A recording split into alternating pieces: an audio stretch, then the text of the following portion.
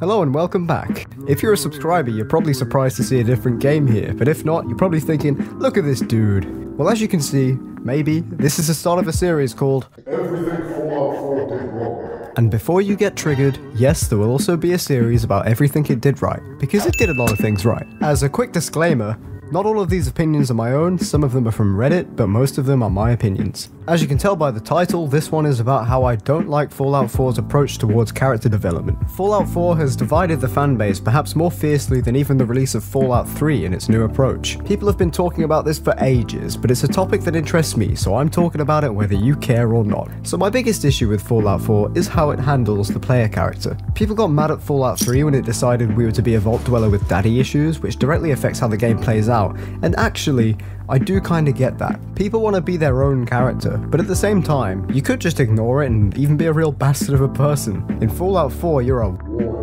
if you're a man, and a law graduate if you're a woman. First of all, what happened to being an everyman with their own story? This doesn't bother me as much as the fact that I imagine the only reason you're given this story is to make the player's combat intuition seem believable. But what if you're a woman? Then you're just a lawyer for the sake of it? Because, you know, when you play as a woman in Fallout, the combat is exactly the same. But why not keep the past ambiguous? It just seems kind of inane to me. The purpose of this could, in my eyes, only be to dumb it down and appeal to people who want a typical badass character, or a strong female protagonist, which, newsflash, we could always have before. Also, the war hero aspect really bothers me because it sounds really positive. That may sound weird as something to complain about, but like, it's decided that you're brave, virtuous, and whatever else from the start. But what if you wanted your character to be some sort of dark and evil skinny nerd hacker type who relies on computer science? The lawyer option interests me as it shows how people with decent futures had them taken away and are forced to become violent, etc. But it's genuinely difficult to be bad in Fallout 4. Sure, you can kill random people, but a lot of the important people are unkillable, which annoys me because their deaths would actually mean something. And don't get me wrong, I'm not the type of person to just kill everyone I see because I understand it cuts quest lines off, but it is a playstyle people go for, and I respect that. Why not give us the choice? There will always be essential NPCs who just sit down and then will always get to kill me. In Megaton, for example, or Megaton, you could play you could blow the place up for some caps or kill everyone and open that armory up. In Diamond City, once you kill one person, you're basically doomed to be hunted down by an immortal army of important misfits. There's no payoff. I can't think of a single reason why I'd want to be evil in this game, and I also kinda can't. People argue that actions speak louder than words, and they're right, but there's just no nuance to the character you play. At most, you can kill some unimportant loser, like me, and like that's fine because they don't matter in an objective sense. There are so few opportunities in this game to kill someone whose death would actually make people stop and think. There are no choices you can make or paths you can take that will make people go. If you join the Institute, the feared boogeyman faction if you will, nothing seems to change in terms of story or character. Yes, there are synth patrolling, which is surely a really bad thing and you'd be blamed for it, but it just seems that nothing changes.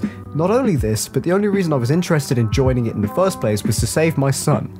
Making joining the bad faction so closely tied with completing the objective you set out to complete from the beginning of the game and finding your beloved son is a huge mistake. Everyone loves their kids. Well, almost everyone. The Institute is already ideal, in fact, if you're more pragmatic than you are emotional, especially in survival if you care more about the easy access to safety, water, aid, and food than the effects you're having on the surface world. So you didn't need to add another justification for being a bad boy, Bethesda. God.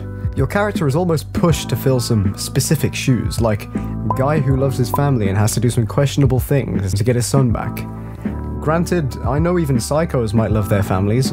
Anything really bad with lasting effects that you can do is justified by your idea of the greater good. And in a way, this is quite cool, but I don't think it's too self aware.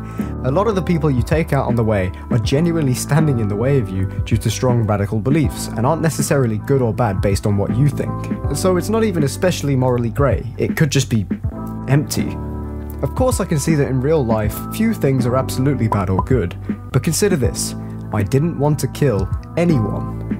That's right, the benefits and drawbacks of all this game's factions left me in a situation where I would have felt selfish to get involved. I just wanted everyone to get along. I felt so bad pulling the trigger. Um, I'm sorry, I, need to sit this one out. And I know it's no surprise that you can't go through an 18 rated violent ass game without killing someone, but this is a different kind of killing people. This is killing people that you could technically reason with if the game gave you the chance, and I just. I just don't like it all that much. I mean, I made the NCR side with the Brotherhood in New Vegas, and while you might say, but lens flare eyes TV, games take you on an emotional journey. I'm going to finish with this. Those murders that I had to carry out were the game's choice, and if I wanted to advance in the game or the story, I had no choice in the matter. This, along with so many other things, created such a poor character disconnect for me. One seen in games such as Mirror's Edge Catalyst, where the character's interest or those of the game and its flow contradict yours. We all know Bethesda wants and expects us to do certain things. And obviously, I'm not going to criticize a developer for pushing the player in a direction because, well, it sometimes needs to be done in order for a narrative to exist. While there are plenty of quests to do, none of them really seem to offer you that same freedom that previous games gave you. Most of the decision making that you're shoehorned into boils down to either shooting or not shooting people, and I honestly think that's a pretty big letdown for a game with such a rich history of gameplay. So that's all from me today. Sorry this episode took so long. I had exams and caught the flu, so if I sound a little bit gross in this video, that's why. Like I said, Half-Life will be returning in videos, but I'm definitely not just a Half-Life channel, so this video is a bit of a step in a different direction. Of course, if you enjoy this video, don't hesitate to hit that like button, maybe subscribe, and perhaps even tell your friends. You can find my Discord and my Twitter in the description below. And if you're really feeling generous and want to help the channel grow, I'm putting the Patreon link down there for the first time. Thank you so much for watching, and as always, take care, and I'll see you in the next video.